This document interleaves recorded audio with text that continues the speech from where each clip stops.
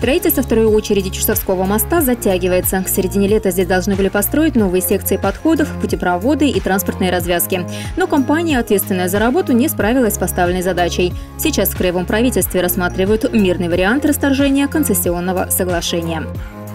Накануне в Перми состоялось судебное заседание по делу пермского стрелка Тимура Бекмансурова. Напомню, 20 сентября 2021 года он зашел с ружьем на территорию Пермского государственного научно-исследовательского университета и открыл огонь. Бекмансуров убил шестерых человек, ранил еще 20. Сам убийца получил травмы при задержании. Они стали основанием для получения инвалидности. Сейчас в суд он обратился с требованием сменить группу с третьей на вторую. После медико-социальной экспертизы суд принял решение отказать истцу. В Усоле продолжаются работы по проекту «Соливары возвращения». Березняковский историко-художественный музей ищет волонтеров для работы по благоустройству территории нижних соляных промыслов.